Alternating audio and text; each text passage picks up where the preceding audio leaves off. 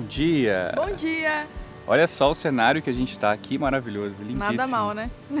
Estamos em Pomerode, em Santa Catarina, no interior de Santa Catarina, né? Isso aí. A gente está aqui na cidade que é considerada a cidade mais alemã do Brasil. E aqui também tem uma festa de Páscoa, já que hoje é Páscoa. A Nada, tem uma... nada melhor do que um vídeo na Páscoa pra gente mostrar uma festa de Páscoa bem tradicional que tem aqui em Pomerode. Então, Então, bora. bora. Comer um chocolate.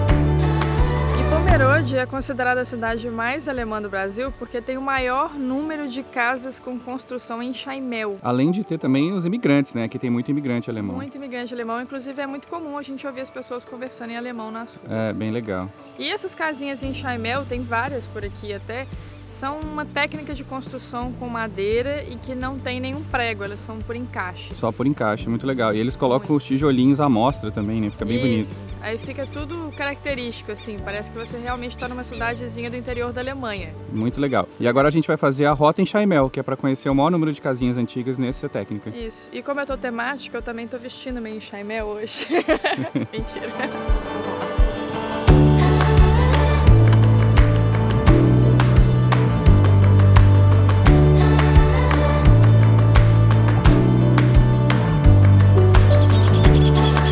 Essa é a primeira casa da Rota em Chaimel que a gente está fazendo.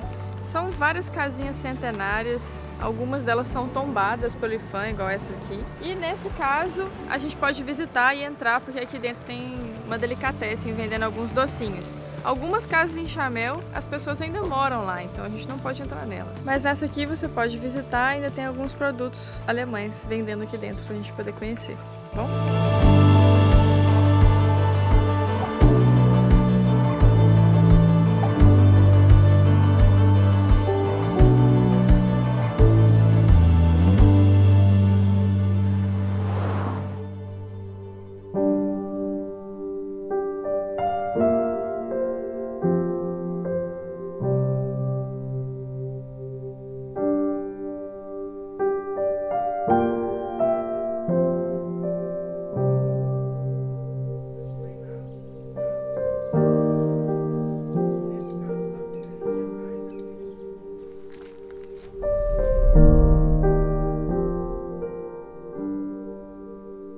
Aqui dá pra ver exatamente o que é a estrutura em Chaimel. Tá vendo essas madeiras? Elas são encaixadas e não usam nenhum prego. O que caracteriza essa técnica é exatamente isso. E aqui, não sei se vai dar pra ver na câmera, tem um número romano aqui marcadinho. Esses números são para numerar todas as madeiras e elas funcionam como se fosse um quebra-cabeça. Então, se você quiser desmontar essa casa e montar ela em outro lugar, vai estar tudo numerado, é só encaixar E aqui em Pomerode é onde tem o maior número de casas em Chaimel, fora, da Alemanha.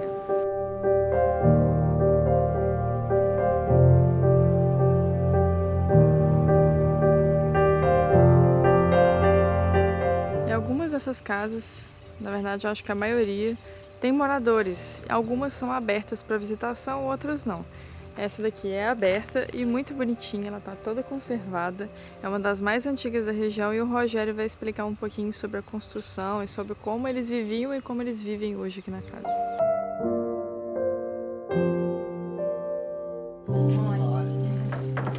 Vocês falam alemão ou não? Não, Não, eu era modelo. é uma delas. Sou a quinta geração dessa família Zivert daqui. Então nós estamos 150 anos no Brasil. Então em 1868 veio meu trisavô e o meu bisavô para o Brasil. Ele veio com dois anos de idade para o Brasil. Então meu avô construiu essa casa em 1913. Isso aqui que sustenta a casa e os tijolos é só para fechar esses buracos. Não segura aqui absolutamente nada.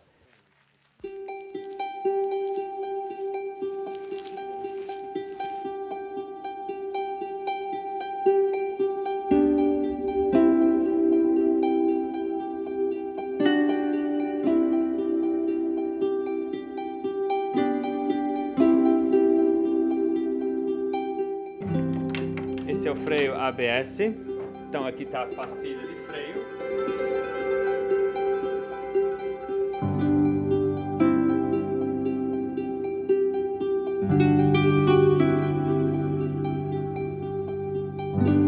Agora, meu pai para trás, as quatro gerações para trás, ele sobreviveu. 100% diferente, viver e sobreviver.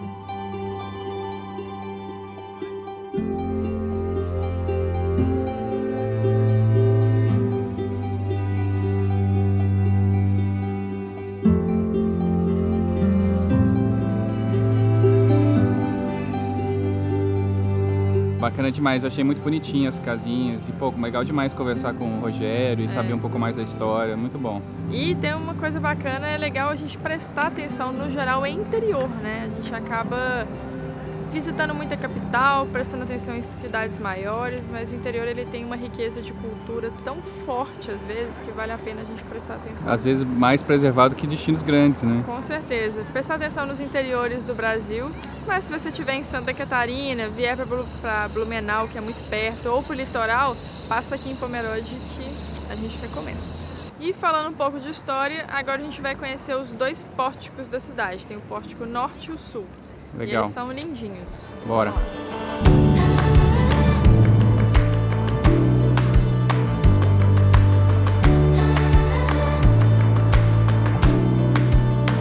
Esse aqui é o Pórtico Norte. E aqui eles fizeram uma réplica de um pórtico que tem lá na Pomerânia, que é a região da onde veio a maior parte dos imigrantes que hoje estão aqui em Pomerode.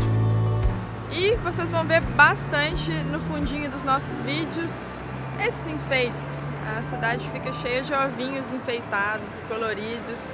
Cada comerciante, cada casinha teve a responsabilidade de fazer uma árvorezinha como essa. Então, espalhada na cidade tem vários ovinhos coloridos. Esses aqui são de mentira, mas a gente vai ver ovo, casca de ovo de verdade.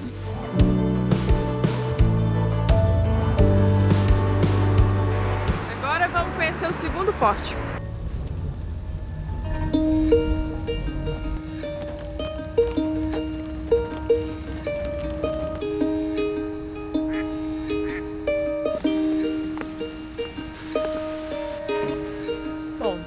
Choveu, por isso que a gente vai amanhã no segundo pórtico.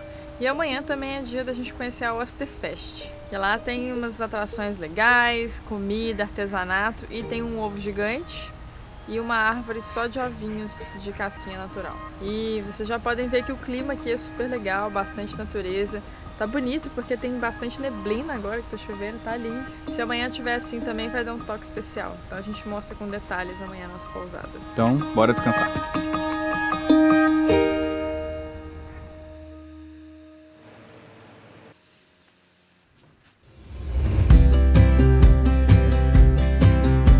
já que hoje é Páscoa, a gente vai conhecer a Osterfest, que é a festa de Páscoa típica aqui em Pomerode e tem muita coisa legal para mostrar. Tem um ovo gigante, né? E uma árvore também de Páscoa gigante. E o ovo gigante é o ovo que tá no Guinness. Ele é gigante mesmo. É, então bora lá conhecer. Bora.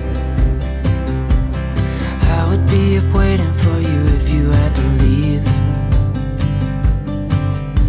I would wait a lifetime if you were at sea. Queria dizer que eu não planejei, mas a estampa do meu vestido é de coelhinhos. Jura? Nem eu tinha visto. Tem vários, tem aqui, tem aqui. Maybe we should hurry up and seal the deal.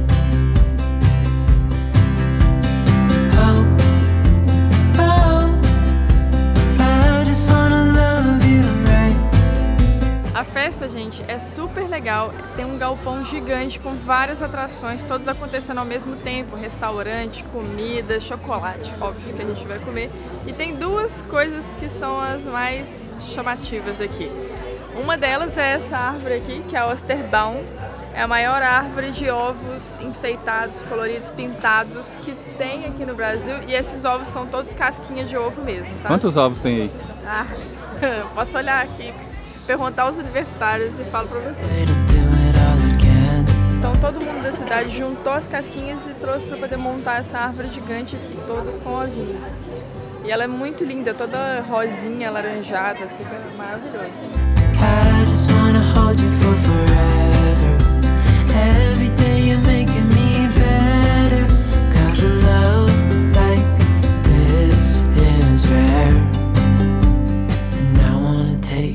Aqui em Pomerode eles têm uma cultura super legal e artesanal de fazer aquelas pinturas em casquinhas de ovo natural, sabe? Todas muito detalhadas. É, e tem uns artistas que fazem umas pinturas incríveis, né? Tem, tem sim. Olha aqui, gente, sério, olha o nível de detalhe que tem nessas casquinhas.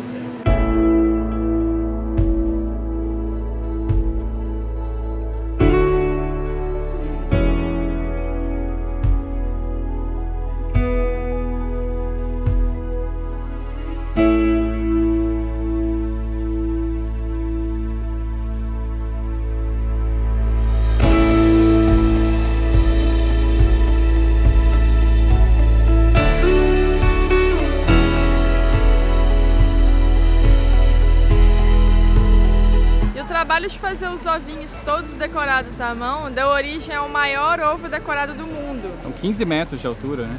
Exatamente, ele tá no Guinness, tão grande que é.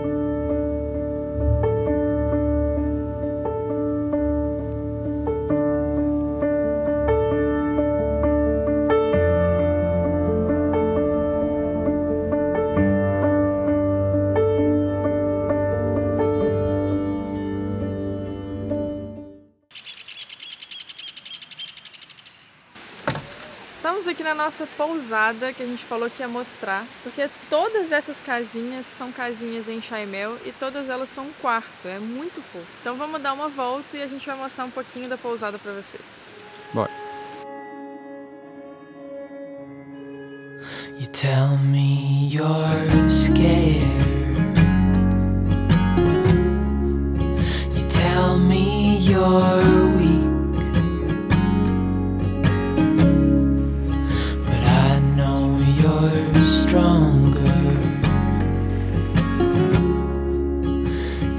What you think.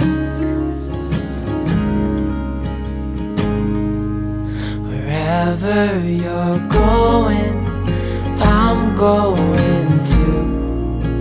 I'll follow you through the black and the blue.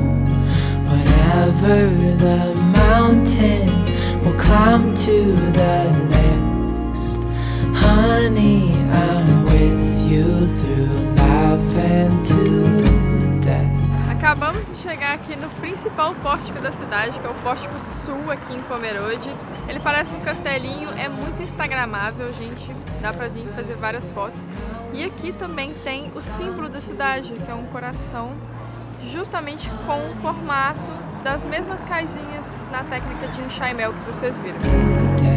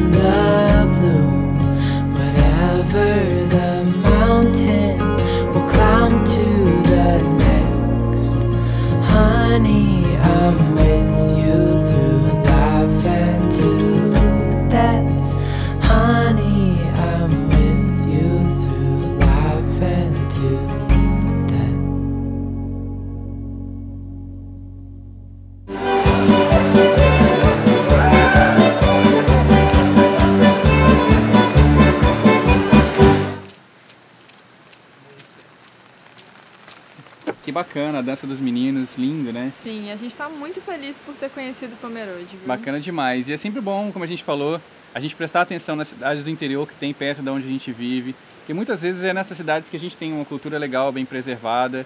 E aqui em Pomerode não seria diferente, foi muito bacana a gente conhecer. E deixa uns comentários aí se você tem alguma cidade do interior perto de onde você vive que você ainda não conhece e quer conhecer. Ou Deixa se aqui. você vive em uma e acha que é legal A as gente deveria ir pra lá. Então é isso, galera. A gente vai ficando por aqui com o nosso vídeo. Espero que vocês tenham gostado. Deixa o like, Se comentário. inscreve, comenta. inscreve. É e é isso aí. A gente se vê por aí, galera. Tchau, tchau. A gente se vê por aí. Beijo. Wherever you're going, I'll follow you.